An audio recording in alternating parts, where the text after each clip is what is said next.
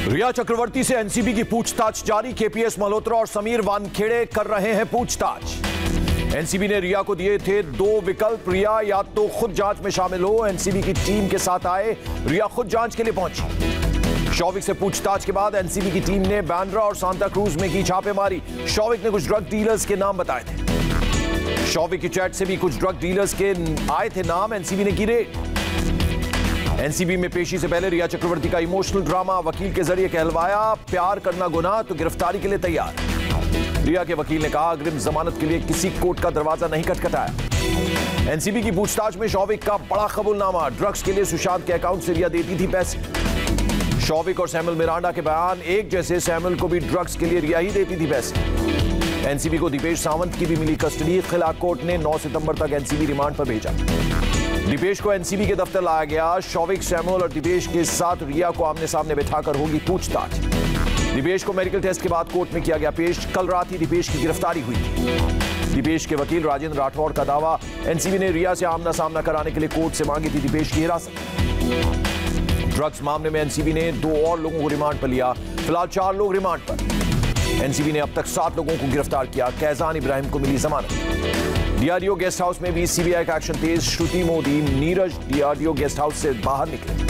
मीतू सिंह से दूसरे दिन भी डीआरडीओ गेस्ट हाउस में पूछताछ, सीबीआई कर रही है सवाल जवाब। मीतू से सीबीआई ने शनिवार को की पूछताछ, साढ़े पाँच घंटे तक सीबीआई की टीम ने किए सवाल जवाब। सुशांत के करीबी संदीप सिंह का भी सीबीआई से हुआ सामना। मौत वाले दिन सुशांत के घर के बाहर नज़र आई लड़की से भी सीबीआई ने की पूछताछ। शौविक की गिरफ्तारी पर पिता इंद्रजीत चक्रवर्ती ने कहा, देश को बधाई, इंसाफ के नाम पर सब कुछ जायज़।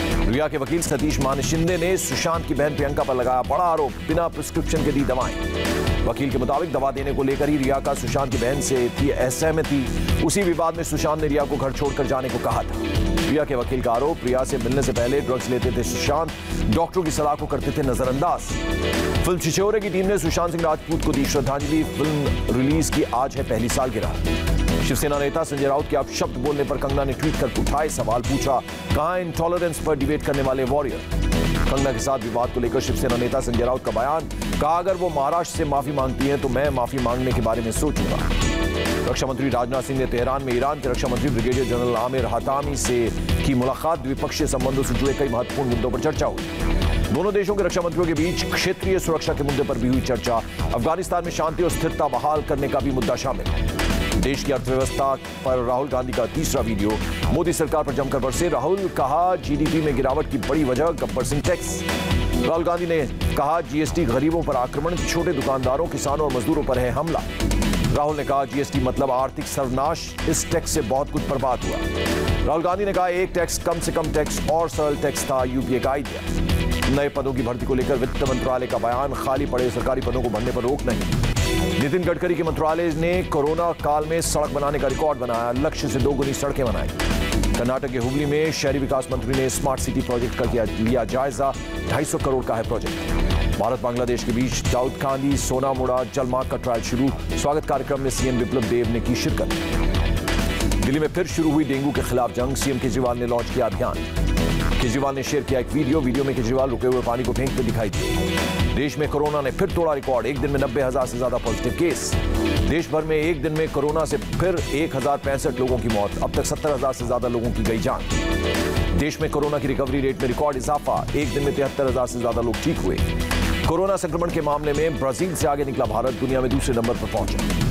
पाँच सितंबर तक देश भर में चार करोड़ अट्ठासी लाख इकतीस हज़ार से ज़्यादा सैंपल्स की टेस्टिंग 24 घंटे में करीब 11 लाख सैंपल्स की जाँच। कोरोना पर स्वास्थ्य मंत्रालय ने जारी की गाइडलाइन, कोरोना टेस्ट के लिए अब डॉक्टर की सलाह की ज़रूरत नहीं। दिल्ली में एक दिन में करीब तीन हज़ार लोग कोरोना पॉजिटिव 25 लोगों की मौत। महाराष्ट्र में एक दिन में बीस हज़ार चार सौ नवासी लोग संक्रमित तीन सौ बारह कोरोना मरीजों की हुई मौत। महाराष्ट्र में 24 घंटे में पुलिस के 511 जवान कोरोना पॉजिटिव, सात पुलिस वालों की मौत।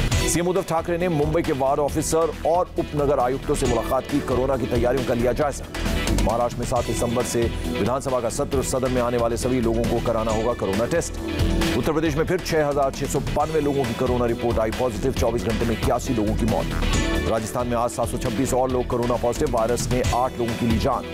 गुजरात का कोरोना ग्राफ बढ़कर एक लाख के पार, एक दिन में तेरह सौ ग्यारह नए कोरोना मामले। आंध्र प्रदेश में कोरोना के दस हज़ार आठ सौ पच्चीस नए केस, इकहत्तर लोगों की मौत। तमिलनाडु में एक दिन में पाँच हज़ार आठ सौ सत्तर संक्रमित वायरस ने इकसठ लोगों को बनाया शिकार। चेन्नई में कोरोना विस्फोट के बाद बावजूद बेखौफ दिखे लोग खेल के मैदान में भारी संख्या में क्रिकेट खेलते नज़र आए। तेलंगाना के वित्त मंत्री Harish Rao corona positive, CM Chandrashekhar Rao के रिश्तेदार हैं हरीश राव।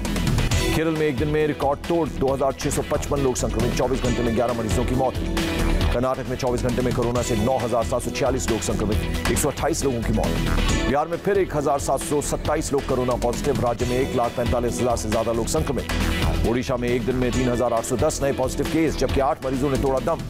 पंजाब के सीएम अमरिंदर सिंह की कोरोना रिपोर्ट नेगेटिव दो संक्रमित विधायकों से संपर्क में आने से हुए थे आइसोलेट जम्मू कश्मीर में कोरोना के एक हज़ार दो सौ इक्यावन नए केस अब तक करीब बयालीस हज़ार लोग संक्रमित 770 की मौत। कल से दिल्ली में फिर दौड़ेगी मेट्रो। परिवहन मंत्री कैलाश गहलोत ने राजू चौक स्टेशन का किया निरीक्षण। गुजरात में भी कल से शुरू हो रही है मेट्रो सेवा। अहमदाबाद में ट्रेन की बोगियों को किया गया सैनिटाइज। 12 सितंबर से 80 और स्पेशल ट्रेन चलाने का फैसला। 10 सितंबर से करा सकेंगे नए स्पेशल ट्रेनों में बुकिंग। बुलेट ट्रेन प्रोजेक्ट पर कोरोना का असर। रेलवे बोर्ड के चेयरमैन विनोद यादव ने कहा, ज़मीन अधिग्रहण में हो रही है देरी। मध्य प्रदेश में सरकारी और प्राइवेट बस सेवा शुरू। अनलॉक फोर की गाइडलाइंस के मुताबिक छूट। मध्य प्रदेश के इंदौर में फिर से बस सेवा बहाल। बसों में सैनिटाइजेशन ज़रूरी। मास्क पहनना अनिवार्य। दिल्ली में आज फिर से खुली हज़रत निजामुद्दीन औलिया की दरगाह। कोरोना संक्रमण की वजह से बंद कर दिया गया। था कोरोना काल में दिल्ली में लोग सेहत को लेकर गंभीर। इंडिया गेट इलाके में साइकिलिंग करते दिखे लोग। देश में कई राज्यों में भारी बारिश का दिखने लगा असर। सब्ज़ी मंडी में महँगी हुई सब्ज़ियाँ। लखनऊ में दिखा वीकेंड लॉकडाउन का असर। हजरतगंज इलाके में सड़कों पर पसरा सन्नाटा। गुजरात के वडोदरा में स्कूलों ने शुरू की ऑनलाइन क्लास। शिक्षकों का दावा, क्लास को इंटरेस्टिंग बनाने की कोशिश। लुधियाना में वीडियो में शराब को कोरोना की दवा बताने वाला शख्स गिरफ़्तार। आरोपी ने पुलिस की वर्दी पहन बनाई थी वीडियो। लुधियाना पुलिस की नेक पहल, लोगों के लिए कम कीमत पर कोरोना केयर किट बेच रही है पुलिस। जम्मू कश्मीर में कठुआ में महिला पुलिसकर्मियों के लिए सौ खाली पोस्ट के लिए निकाली गई भर्तियाँ। ढाई हज़ार महिला उम्मीदवारों ने किया अप्लाई दुनिया भर में कोरोना से संक्रमित लोगों की तादाद दो करोड़ उनहत्तर लाख से ज़्यादा पहुँची। अब तक आठ लाख इक्यासी हज़ार लोगों की मौत। इटली में कोरोना को लेकर प्रतिबंध के खिलाफ हज़ार लोग सड़कों पर उतरे। सरकार के खिलाफ प्रदर्शन किया। कोरोना संकट के बीच देश भर में एनडीए परीक्षा का आयोजन। दिल्ली में एग्ज़ाम सेंटर पर एसओपी के तहत उम्मीदवारों को मिली एंट्री। उत्तर प्रदेश के प्रयागराज में भी एनडीए परीक्षा आयोजित। कैंडिडेट्स का आरोप, परीक्षा केंद्र तक जाने की नहीं की गई थी कोई व्यवस्था। नागपुर में भी एनडीए परीक्षा के दौरान छात्रों को कठिनाइयों का करना पड़ा सामना, कोरोना संक्रमण की वजह से ट्रांसपोर्टेशन की दिक्कत। उत्तर प्रदेश के मुरादाबाद में एनडीए परीक्षा के लिए रेलवे की पहल, परीक्षार्थियों के लिए चलाई स्पेशल ट्रेन उत्तराखंड के बीजेपी विधायक महेश नेगी पर यौन शोषण करने का केस दर्ज। एसीजेएम कोर्ट के आदेश पर नेहरू कॉलोनी थाने में एफआईआर। दिल्ली में तलाकशुदा महिलाओं से शादी के नाम पर ठगी करने वाला विकास नाम का शख्स गिरफ़्तार, चार बैंक अकाउंट सीज। अलीगढ़ में अवैध निर्माण पर चला नगर निगम का बुलडोजर, जलभराव और नालियों के बंद होने की वजह से निगम ने की कार्रवाई। नोएडा में पुलिस और बदमाशों के बीच एनकाउंटर दो बदमाश जख्मी, एक फरार। ग्रेटर नोएडा के सूरजपुर में चेकिंग के दौरान बदमाश ने पुलिस पर की फायरिंग बदमाश गिरफ़्तार। पटना में शराब तस्करों पर दबिश देने पहुँची पुलिस टीम पर हमला, एक एसआई बुरी तरह जख्मी। ट्रेन से उतारकर शराब ले जा रहे थे तस्कर, पुलिस के पहुँचते ही शुरू की पत्थरबाजी, झड़प में एक तस्कर को भी लगी गोली। केरल के मल्लापुरम में गोल्ड तस्करों ने डीआरए की टीम पर किया हमला। हमले में दो अधिकारी घायल। केरल के तिरुवनंतपुरम में गांजा तस्करी का भंडाफोड़, पाँच किलो गांजा जब्त। पुलिस ने दो तस्करों को दबोचा। बेंगलुरु में सेनेगल का एक नागरिक गिरफ़्तार। फिल्मी हस्तियों तक ड्रग सप्लाई का आरोप। मध्य प्रदेश के ग्वालियर में अवैध हथियारों की तस्करी का भंडाफोड़। क्राइम ब्रांच की टीम ने एक दर्जन पिस्टल और कारतूस बरामद किए। एक तस्कर को भी गिरफ़्तार किया। नकली नोट के सिंडिकेट का भंडाफोड़। दिल्ली पुलिस ने चार लोगों को गिरफ़्तार किया।